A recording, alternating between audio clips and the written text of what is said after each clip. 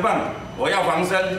拿着球棒跑到疾管署抗议，一下说是自我防卫，一下又气得扬言砸玻璃。他是新北市板桥区的里长，为了公费流感疫苗，被李明长辈骂翻了。这阿妈，啊话变就变，啊讲无做就无做，要哪用的安尼？哦，啊，安尼就免免公布啊！你公布你里长你做什么里长？里长生不出疫苗，冲到机关署请命。另一头，里办公室已经挤爆，老人家自发性发起号码牌，外头还有好几位长辈，明明也提早来，却打不到，因为只有一百剂疫苗，全里老人家七百多位，怎么够？本来是一点半大家才会来排队呀，现在十点多就有百姓就来排队了，我们那些老人都来排队呀。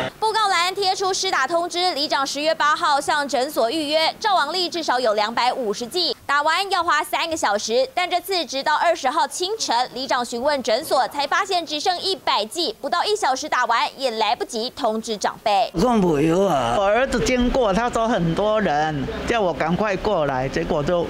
打完了 没针了，今马尾四点半的播啊。重回里办公室，还是有不少长辈想来打针，却扑空。统计今年公费流感疫苗已经打了三百四十六点六万剂，比去年同期多了七十多万剂。六十五岁以上长辈接种率达到百分之三十九点一，幼儿百分之二十七点五，还是偏低。机关署强调，目前还是以整体接种率为考量，会一直持续的呃提供下去因为设站的量其实也不少所以不可能。说把所有的疫苗都配到某一个里，我们当然也是致歉，可是不用跟我道歉呐，就是只要是说赶快把这个中央政策哦，我们也会地方会配合中央，啊疫苗真的是不够。再三向长辈道歉，稍早里长拎着球棒，原先还想砸玻璃抗议，态度大转变，配合中央，只能劝老人家跑一趟诊所医院。三新闻综合报道。